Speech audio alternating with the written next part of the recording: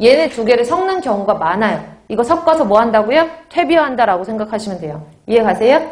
그래서 슬러지 자체로는 공기가 왔다 갔다 통기성이 안 좋으니까 얘를 넣어줌으로써 통기가 좋아지게 넣어주는 재료다라고 해서 이거를 통기계량제라고 얘기를 해요. 통기계량제. 되셨나요?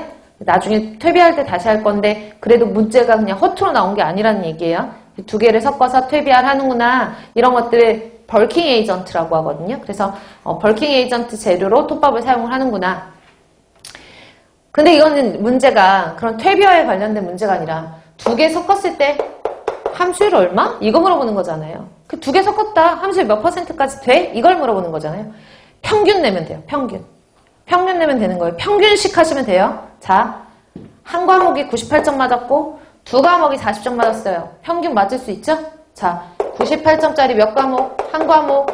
그 다음에 40점짜리 몇 과목? 두 과목이잖아요. 그 원래는 40짜리 한 과목, 40짜리 한 과목 그러면은 두 번 더 해줘야 되는데 40 곱하기 2 하면 되잖아요. 그쵸? 한 과목당 몇 점 맞은 거예요? 평균. 3으로 나누면 되지. 이거예요. 평균 구하는 공식. 아셨죠? 근데 잘 나와요. 구급시험 문제. 얘는요, 양반이에요. 왜? 슬러지랑 그 다음에 톱밥밖에 안 섞었잖아요. 다른 거는 슬러지랑 톱밥도 섞고 50%짜리 나뭇잎도 섞고 몇 개도 섞고 이렇게 해요. 그럼 4개, 5개 섞었다고 해볼게요. 4개, 5개 섞으면 4개, 5개를 평균치 내시면 돼요. 끝! 됐죠? 그래서 어떤 책이나 다른 책 같은 경우에는 이거를 굳이 3개 중에 1이니까 98 곱하기 3분의 1, 40 곱하기 3분의 2 이렇게 하거든요. 그럼 3분의 1이랑 3분의 2랑 더하면 어차피 1인데 굳이 그렇게 하실 필요가 없어요. 그냥 곱해주고 곱해주고 총합으로 나눠주시면 돼요. 아셨죠?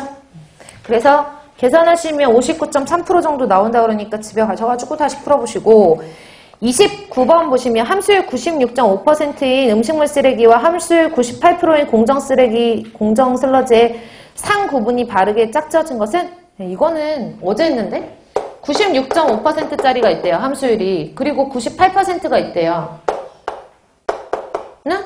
얘네 성상을 구분을 하래요. 96.5%면은 몇 프로야? 3.5%죠. 고형물이.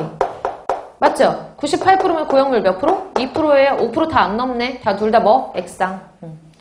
30번 이렇게 연탄재 보세요. 눈으로 풀어볼까? 눈으로. 함수의 10%짜리가 함수율이 점수예요. 아셨죠? 함수율이 점수라고 보시는 거예요. 그 다음에 구성비 중량이 과목이라고 보시면 돼요. 그럼 10 곱하기 30, 50 곱하기 50, 20 곱하기 20 다 더한 다음에 30, 50, 20으로 나눠주면 되는 거죠. 30 더하기 50 더하기 20. 맞아요?